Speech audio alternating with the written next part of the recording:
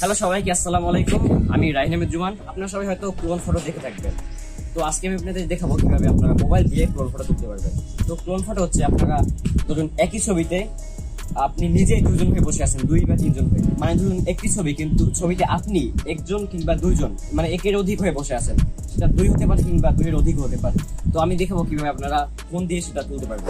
তো clone photo তোলার জন্য আপনার মোবাইল একটি স্থির অবস্থানে রেখে তুলতে হবে।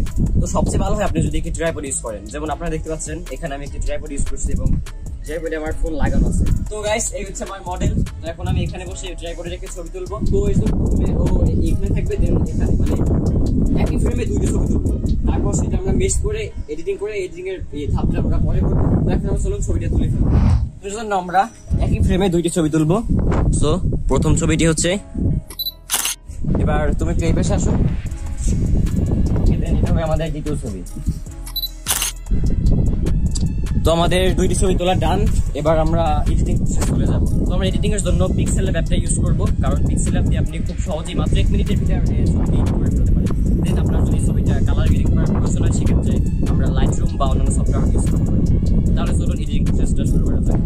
তো আমরা এখানে আমাদের কোলন ফটোটার জন্য দুটি ছবি আছে। এবার আমরা যে কোনো একটি দিয়ে শুরু করব।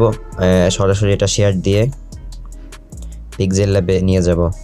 তারপরে এটা পিকজেল ল্যাবে নিয়ে আসার পর আমরা উপরের বাটনতে ক্লিক করে রেজলিউশন ফুল রেজলিউশনে টিক দিয়ে তারপর ওকে দিয়ে দেবো। দেন আমাদের ছবিটা ইম্পোর্ট করা হয়ে গেল। এবার যেহেতু আমাদের একই ফ্রেমে রেখে বা স্থির অবস্থানে রেখে দুটি ফটো তুলেছিল তো সেক্ষেত্রে আমরা ওই পরের ছবিটা ইম্পোর্ট করব। প্লাস এখানে ক্লিক করে ফরম গ্যালারি দিয়ে। এইটা হচ্ছে আমাদের সেই দ্বিতীয় ছবিটা, এটা আমরা ইম্পোর্ট করে নিব।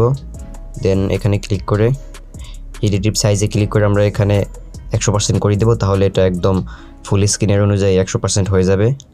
দেন যদি মনে হয় এটা নড়ে চড়ে গিয়েছে বা তার অবস্থান থেকে সরে গিয়েছে, তাহলে আমরা রিলেটিভ পজিশনে ক্লিক করে এখানে আর এখানে ক্লিক করে দেবো মাঝখানে, ফলে ছবিটা অ্যালাইন হয়ে যাবে বা একদম মাঝখানে চলে আসবে। এবার আমরা এখানে একটু নিচে স্ক্রল করলে দেখতে পারব ইরেজার নামে একটা অপশন আছে সো আমরা এখানে ক্লিক করব। দেন এটা আমাদের এবার ইরেজ করতে হবে, সম্পূর্ণ ছবিটা ইরেজ করতে হবে। আমরা ছবিটার ইরেজ করার কাজ শুরু করব।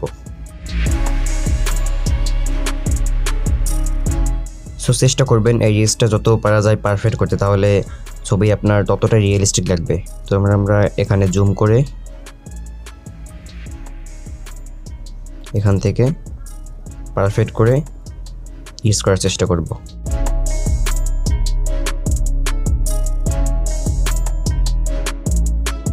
ওকে আমাদের ইরেজ করা মোটামুটি ডান এবার আমরা ওকেতে ক্লিক করে দেবো। দেখুন আমাদের ফাইনাল ছবিটা একদম ডান মানে মনে হচ্ছে যেন একই ফ্রেমে দুজন বসে আছে, একজন মানুষই দুজন হয়ে বসে আছে বা এরকম কিছু একটা।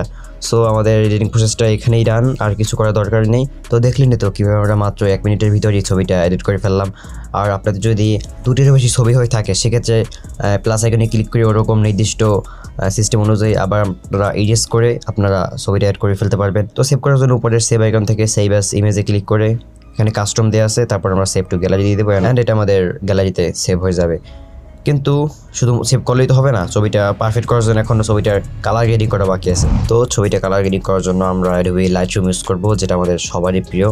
তো এটা আমাদের লাইট রুমে ইম্পোর্ট করা হয়ে গেল। এবার আমরা কিছু কাস্টমাইজেশন করে ছবিটা কালার গ্রেডিং করে ফেলি, চলুন।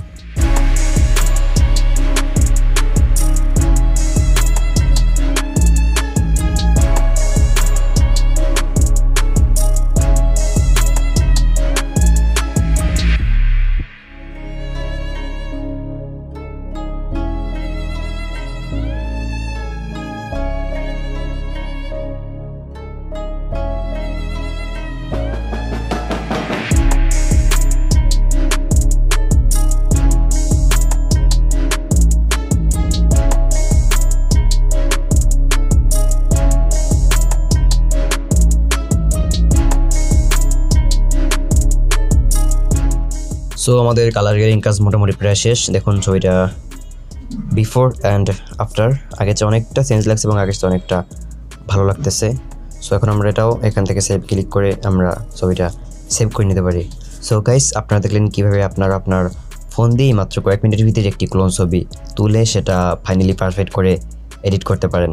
তো গাইস আজকের ভিডিও এই পর্যন্তই। সবাই ভালো থাকবেন, সুস্থ থাকবেন এবং সবাইকে পরবর্তী ভিডিও দেখার জন্য আমন্ত্রণ রইল। আল্লাহ হাফেজ।